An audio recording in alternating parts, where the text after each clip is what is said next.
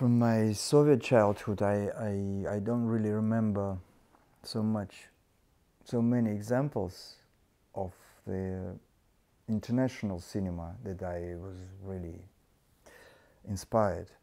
Um, there were some great cinematographers, but actually I didn't pay attention on names, of course, when I was a teenager. I, uh, I liked the image for some reason. I could separate the American movie from the British one, from the French one, and of course from Russian one. And they, uh, they were all different. And I liked them all. I mean, I liked the, uh, the differences, and I, I like the, the way how, well, now I can analyze, so I can, I can say that I like the way how the idea, how the film, how it was delivered. Um, definitely, I didn't, didn't know, I mean, I have no idea about all those technical issues in terms of anamorphic Panavision lenses or uh, black and white new wave French cinema or Italian uh, or Swedish, but uh, something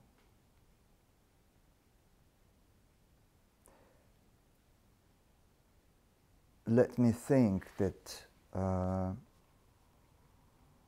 I like this movie for some reason, and not technical one, but just in general.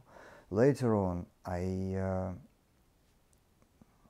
I started watching more movies, and uh, European movies were a bit much closer to my nature.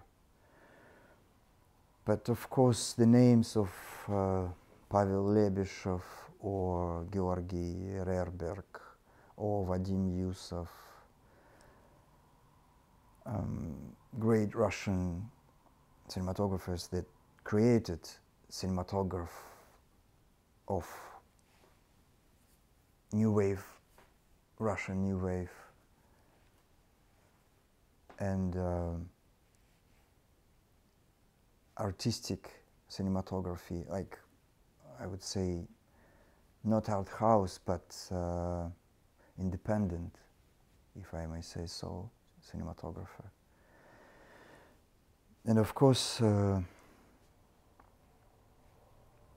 Hungarians, um, Laszlo Kovacs, Vilmos Zsigmond, who, I don't know, I can't say they created, they did, but they, they were a huge part of independent American cinematography, making Paper Moon or Deer Hunter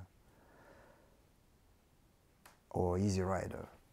Yeah, but that was later on, of course, when I, I discovered them only after that, after I became a, a cameraman. But before that was uh, Polish cinema and uh, French cinema. And of course, uh, one of my favorite cinematographers, uh, Sven Nykvist. And I can't say he did only, I mean, he, he, he was great in, in every movie, like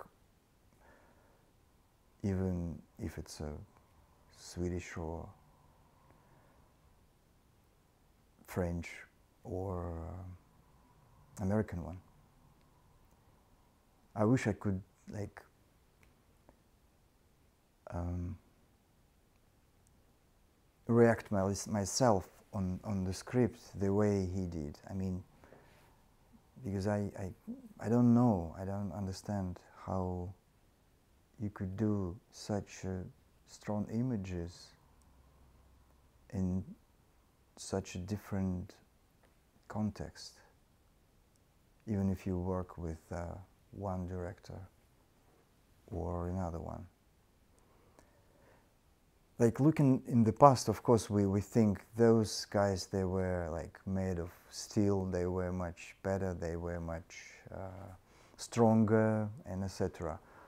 Of course, the time is continuous. I mean, it's, uh, yeah, we're all the same. But looking back to those Mohicans, I would say, I'm glad that I uh, kind of, I'm trying to reach the same planet they were on.